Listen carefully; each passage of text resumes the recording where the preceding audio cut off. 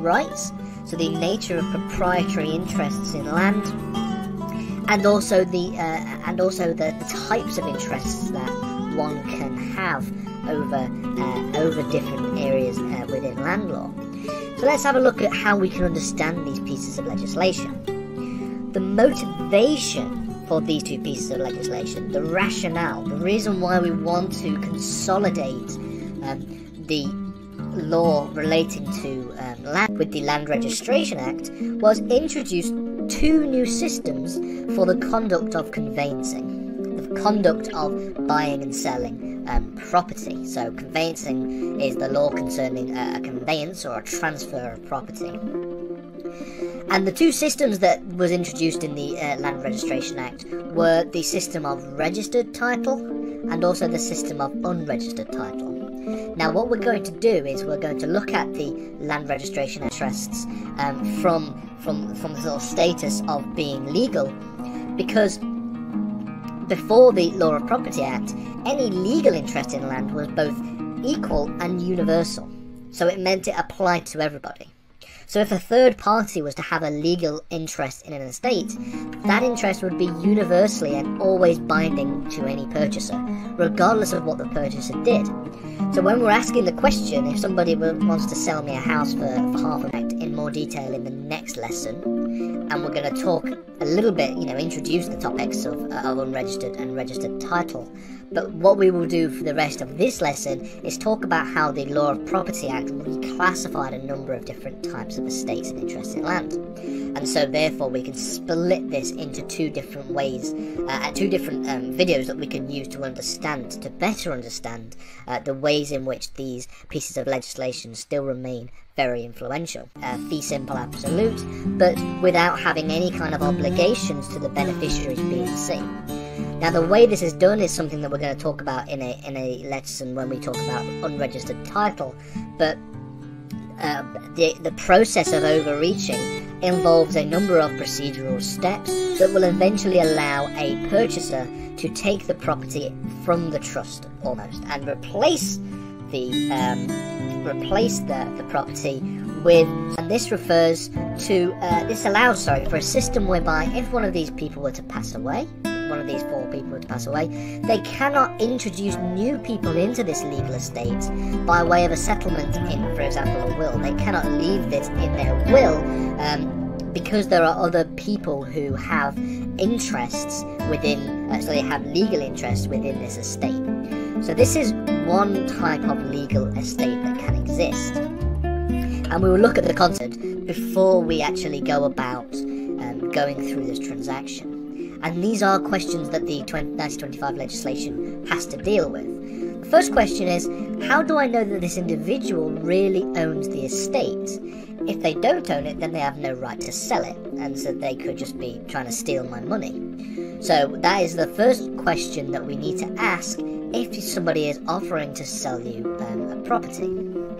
The second question is how do I know action should be taken to facilitate and cheapen the transfer of land? So we're talking about um, how we achieve the transferal of land from one party to another and how we make that process cheaper and um, by extension make that process more efficient. So, this involved looking at uh, the process of purchasing estate in land and how we can do this more effectively and this will again um, extend to reducing the if there are any other third party interests in this estate.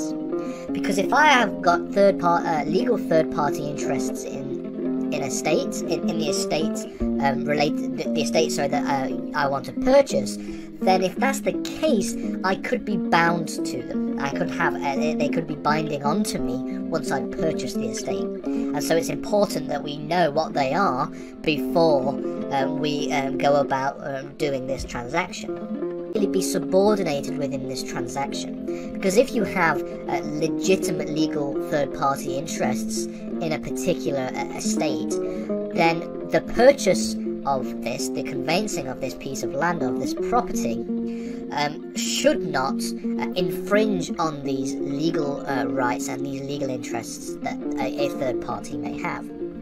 So we have what we what we have is a, a complex web of issues that need to be resolved using freehold covenants, etc., etc., etc., etc. And so we can really begin to delineate between third party interests that are legal and therefore universally binding, and third party interests that are equitable, where we might have rights um, to, um, we might have the right to not be bound um, to them.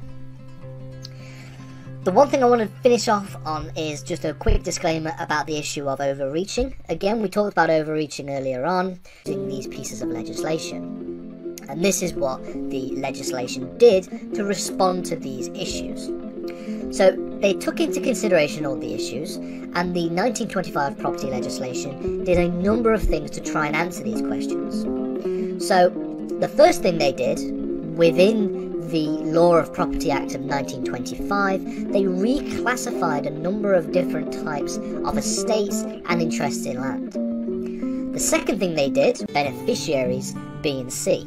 How? Well, the concept of overreaching was introduced by the Law of Property Act 1925, and what it does is it allows for the purchase of property that is held in trust, like in this example, okay, but in such a way as to devolve their obligations in equity, as to get rid of their uh, obligations in equity. They can um, basically enjoy the uh, enjoy the their interests in the land as a in the land. Okay, our individual rights will trump those of the equitable interests that exist.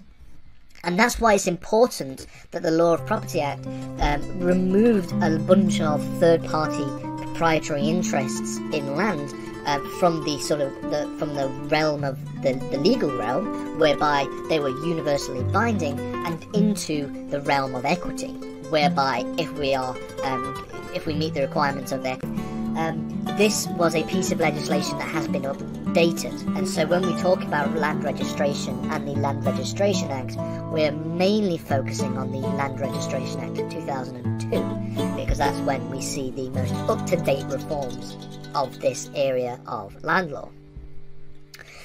So, these two pieces of legislation represent a very important aspect of land law they set out some fundamental rules relating to the nature of parties uh, when it comes to interests in land.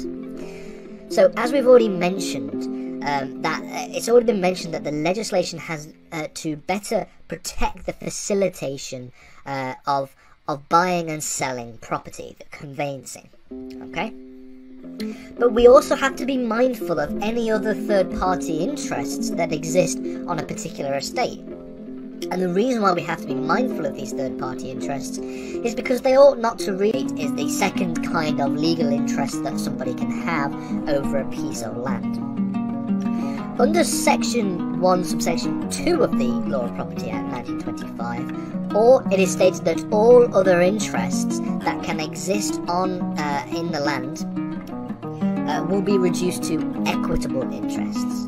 So we it, it, defines the two legal interests that can exist within land, and then it reduces the rest to that we talked about when we're talking about solutions that uh, solutions to a number of issues raised within the conveyancing of, of, of title um, is the reduction of legal interests because um, section 1 subsection 1b of the law of the property act describes um, the other kinds of estates that can exist in legal form and these are known as leasehold estates. Now we will talk again we'll talk about this in a separate lesson but uh, a leasehold estate increase the demand and it will increase the supply of um, of these uh, of these transactions. And so we can um, you know better facilitate the uh, market in estates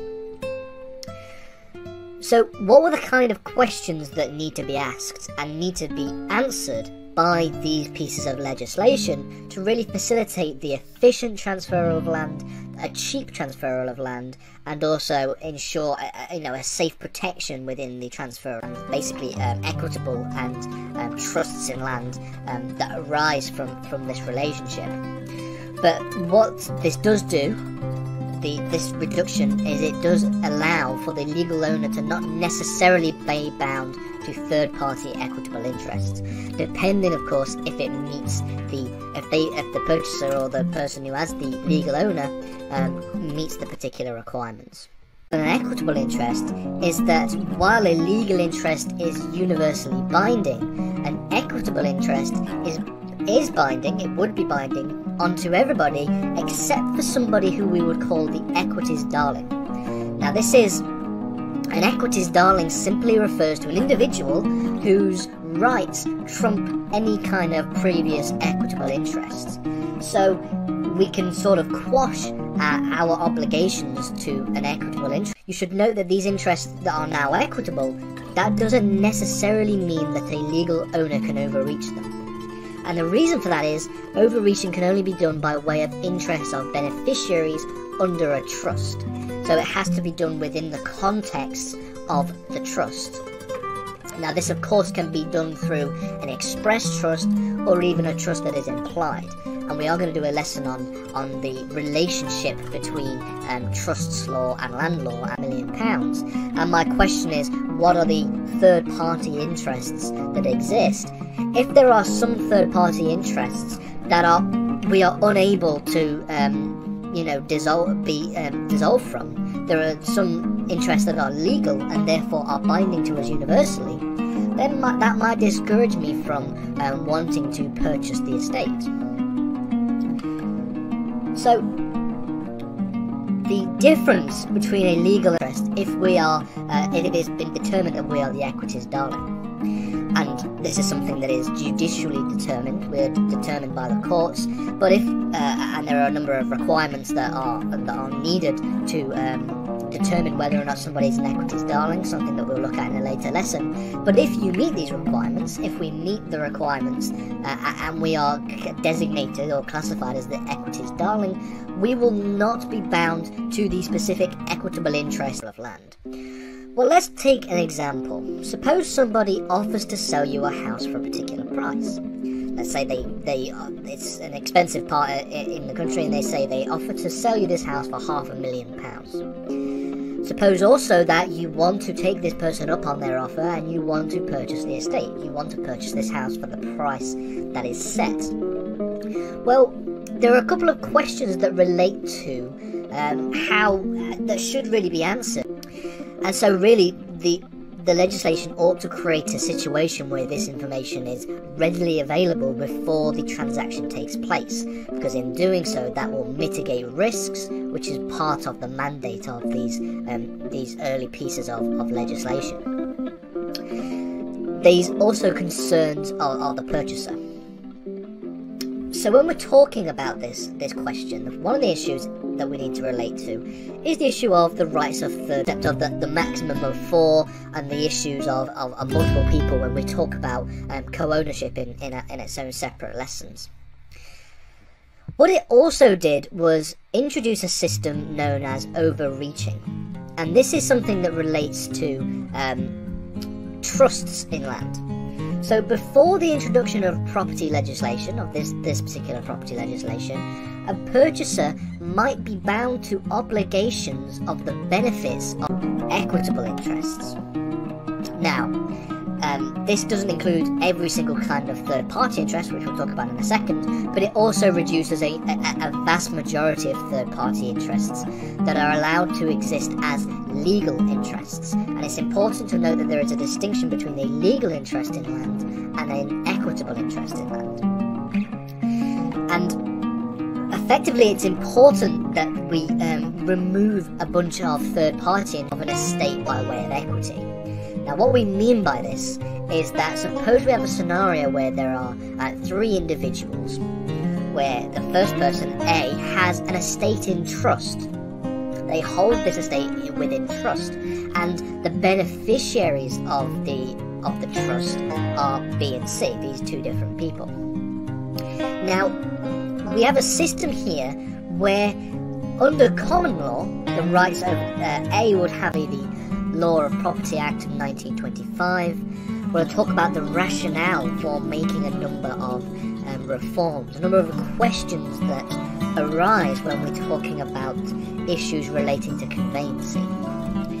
And also talking about issues relating to the uh, purchase of land, issues relating to third party interests in land, and then talk about how these issues and how these questions were answered by the law of property estate, and they refer to a fee simple uh, uh, that uh, sorry a fee simple ownership whereby there are no limits on the owner's rights over this piece of um, property, over this land.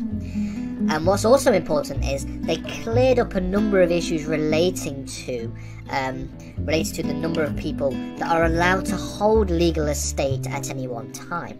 The maximum number is now four.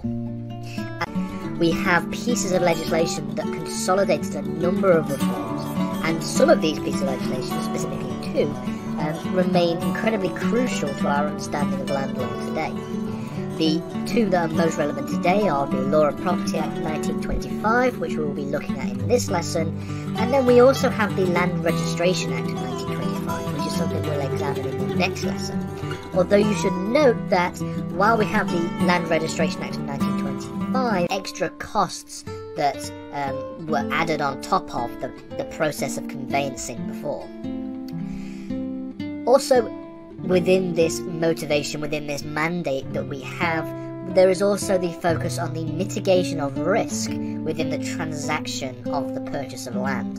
Because if we can reduce the potential risks in as far as we possibly can, this is going to have a great impact on the markets in estates. Okay, it will increase right over the estate under the common law, and then B and C would have rights in equity because it is held in trust and they are the beneficiaries of that trust. Now, suppose that a purchaser comes along and wants to purchase this um, estate. Before 1925, before the 1925 Law of Property Act, uh, you can have, uh, if you are given notice uh, of the beneficial uh, interest in the estate, if you're given interest, the rights of uh, being able to, so has the rights to the interests in the estate as a fee simple absolute uh, in possession of this um, piece of land. And again, we will look at this more when we look at unregistered land. But this is an example of the kind of messy situations that existed before the Law of Property Act that the Law of Property Act was able to um, change and be able to fix and solve in a way. So one thing, and uh, we want to consolidate that into, uh, you know, into these pieces of legislation. Uh, there's a number of motivations. There are a number of motivations and questions and issues that arise when it comes to the the buying and selling of estates, and so therefore we have to, uh, and therefore this is what the the motivation for this legislation was. So the committee charged with coming up with these reforms, the committee charged with, you know, developing this legislation, uh, it was given a mandate to quote advise what, uh, sorry, given notice, sorry, of the beneficiaries B and C, you would be bound in equity by the interests of those beneficiaries. You'll be bound to um, be able, uh, so you'd only be able to enter this transaction as a trustee within the benefits of the estate, and the benefits will still go to B and C. So there is no way in which we can sort of take the trust, the property out of the trust, as in a way, and this would cause a problem. Property Act 1925, what the Law of Property Act actually did to um, make it easier for the transferal of estates from a particular person to, to, to somebody else, the, the buying and selling of land. So, the history of property legislation is quite interesting. Our understanding of land law today can really be traced back to this key moment in 1925 where a number of crucial reforms were made. Because if you're a purchaser who's been given notice of this uh, estate being held in trust, then no matter what you do in the purchase and in the purchase of this estate, you will be bound to the um, bound to uh, the, the beneficiaries B and C who have equity interests in this land. They have equitable interests in this land. And this allowed for a system uh, to be reformed, and we have the overreaching, uh, the issue of overreaching. What I'd like to do in this lesson is talk about property legislation. specifically talk about the major reforms that were made to the system of land law following 1925. A number of pieces of legislation were made. Talk about the changes before, uh, sorry, the, the situation before, and then the changes that these pieces of legislation impacted. So we'll talk a little bit about the history of property legislation, specifically, is darling. We can therefore, um, you know, we don't, we won't be bound to these equitable interests. So, with the Law of Property Act reducing a number of third-party legal interests, what is it is doing is effectively removing the number of interests that a purchaser has to be bound by, and that will facilitate the the, the transaction, the conveyancing of, of land in a more in a more in a fairer way. So let's talk about the reclassification of property interests.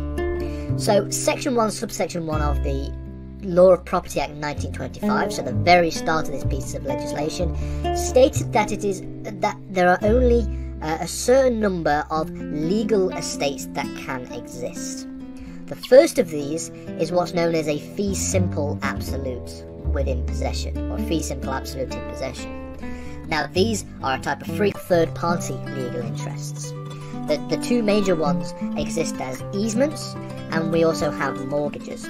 These are two examples of third party um, interests that are not equitable, but they are legal interests.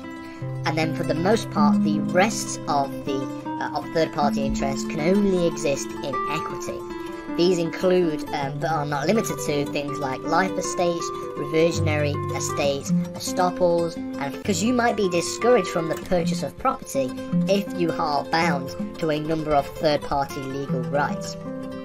If you are, if, if there are only equitable interests, and they are, uh, you know, and we are able to um, and we are able to have rights that um, trump these equitable interests, then we're probably more likely to be able to um, purchase the property.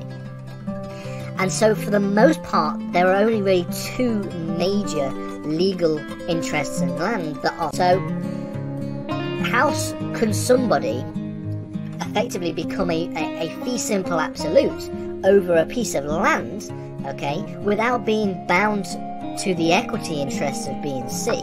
How can we, for example, take the uh, estate out of the trust almost, and we um, can then enjoy and have the rights to enjoy the land as a fee simple absolute. How can we do that without being bound to the equitable interests that, some kind of um, something of particular value, often money? So, for those who exist within the context of this trust, the trustee and the beneficiaries, the estate will be taken out and replaced with something of particular value.